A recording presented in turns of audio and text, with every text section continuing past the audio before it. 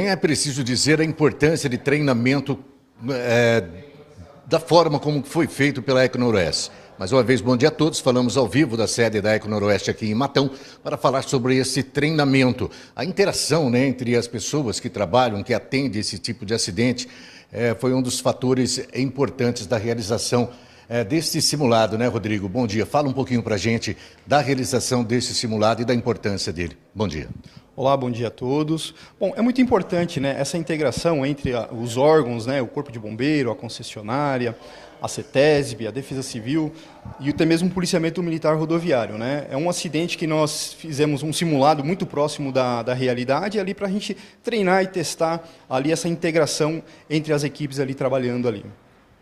É, você falou aí é, da participação de várias entidades, Polícia Militar, SAMU, e isso é necessário, né? Porque esse tipo de acidente corre o risco de acontecer a qualquer momento, em qualquer local.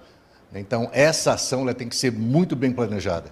Sim, com certeza, né? É, infelizmente, é, acaba sendo comum, né, esse tipo de, de, de ocorrência com um produto perigoso. Na, na, ocasião ali, o nosso ali foi com vazamento de álcool, né? Então, um veículo acabou colidindo na traseira de um, de um caminhão e houve o vazamento. Né? Então, essa era a ideia do exercício, e aí, com determinados acidentes, a gente precisa acionar todos esses órgãos, né? até mesmo a Defesa Civil, o Corpo de Bombeiro, que são os, a, as equipes que são especializadas em fazer a, a primeira aproximação, que a gente chama ali de, de, zona quente. E aí depois vem a liberação ali para a nossa equipe trabalhar ali com tranquilidade e segurança.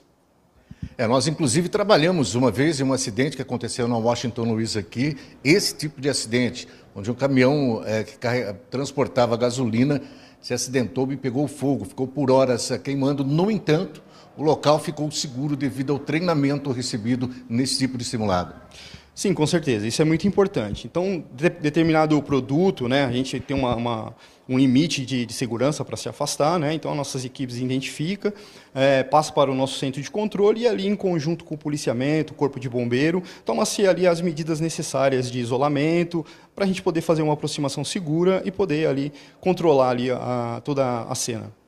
Bem, quem está vendo as imagens aí é, é como se fosse um acidente, né? Impressionante como se parece com um acidente real, esse simulado montado aí pela Econoreste. Sim, né, a ideia ali, a, a, um pouco da dinâmica do acidente, né, então tinha um caminhão com produto perigoso, um veículo ele veio, ele se perde ali na, na, ao entrar a alça e colide na, na, na traseira, né, então o motorista ele acaba saindo ileso, tanto é que é ele que faz o acionamento ao nosso centro de controle e nós tínhamos mais quatro vítimas no interior do, do veículo. É, feito o resgate, feito toda a aproximação, o resgate ali, uh, nós criamos uma outra condição. Um ônibus, um motorista, ele vem, tem um mal súbito, ele se perde ali na, na, na, na alça também e acaba adentrando. E aí nós temos um, as múltiplas vítimas dentro do ônibus, ou seja, tínhamos mais sete vítimas dentro do ônibus. A ideia era que o ônibus é, teria capotado né, no, no, no, local e algumas é, vítimas foram projetadas. E aí, nessa, nessa ocasião, eh, aproveitamos e, e fizemos nosso treinamento com o método START. Né? Quando que a gente monta esse método START? Que é a separação de vítimas através de lonas. Né? A gente monta esse cenário START quando os recursos no local não, não são suficientes para transportar todas as vítimas para os hospitais. A quantidade de ambulância não são suficientes. Então, o que, que nós fazemos? Nós montamos um posto de comando, a nossa médica no local ela começa a fazer essa triagem. Os leves ficam nas lonas verdes, o amarelo, na, na, os mais moderados na lona amarela, né? e o vermelho, que são os mais delicados ali, fica na lona verde. Então a gente acaba dando essa prioridade. Podemos ali também realizar esse exercício ali com essas equipes nossas ali também. Bem, é importante frisar também que um simulado como esse, é, algumas pessoas se aproximam para ver como, como é feito o trabalho, como é realizado o trabalho, desperta a curiosidade é, destas pessoas, mas é um simulado. Em um acidente real, quanto mais longe a pessoa ficar, melhor. Ela não vai atrapalhar o trabalho que está sendo realizado e não vai correr qualquer risco. É bom destacar isso, né, Rodrigo? Não, com certeza, né? É, só o fato dela não se aproximar já está ajudando bastante, né? Então, se ele estiver passando pelo local, afaste. É, aproveito também já a gente trazer a nossa campanha, né, que a gente passa para os usuários, que é o afaste-se. Então, ele tendo condições de mudar de faixa, com segurança, não se aproximar, não fazer imagens, não não querer ali tentar ajudar de uma certa forma ali o local, porque ele não sabe qual é o tipo de produto que está sendo vazado, enfim. Então, para a própria segurança deles, do demais que eles estão trabalhando, é muito importante que ele fique longe e siga a sua viagem e não fique por perto. Um treinamento como esse, é quando se chega no local, pode chegar aí o socorro da ECO, né? É, Noroeste, pode chegar SAMU, Polícia Militar, Polícia Militar Rodoviária, é, é CETESB, ou seja, essa integração feita durante esse simulado, é também numa hora em que precisar, né, as equipes já vão saber o que fazer cada uma delas. Sim, com certeza. Né? As primeiras equipes que, que, chegam no local, dependendo do produto, eles já sabem qual é o protocolo que eles devem seguir.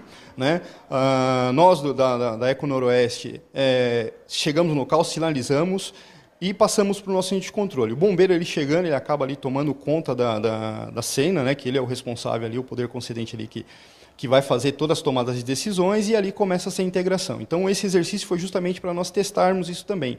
Como é que está ali a sintonia, o sincronismo de cada um atuando dentro da cena. Isso foi muito importante, foi bacana.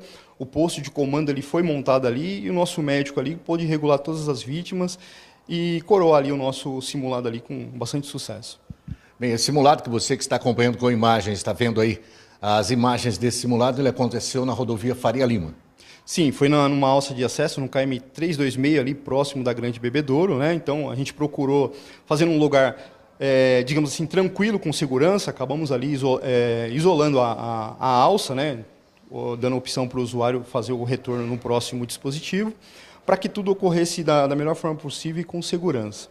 E com certeza outros simulados como esse vão acontecer. Né? Sim, nós temos aí a, a, nossa obrigação anual de fazer um simulado por ano, né, junto ao nosso poder concedente, que é a nossa Artesp. E é, ao longo do ano fazemos outros desses aí para a gente ir testando a nossa equipe, alguns simulados também, surpresa aí, para a gente poder saber como é que está o desempenho da nossa equipe e ir ali corrigindo algum detalhe se, se necessário.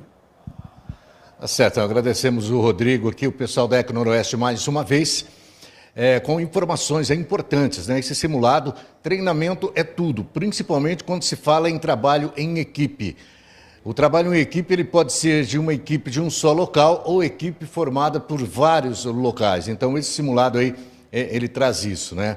Então, o pessoal do SAMU, é, é, integração com o pessoal do Corpo de Bombeiros, Polícia Militar Rodoviária, CETESB, se necessário, é, socorristas, né, atendentes aqui é, da Eco Noroeste. É isso que esse simulado é, é, trouxe aí. Obrigado mais uma vez, Rodrigo.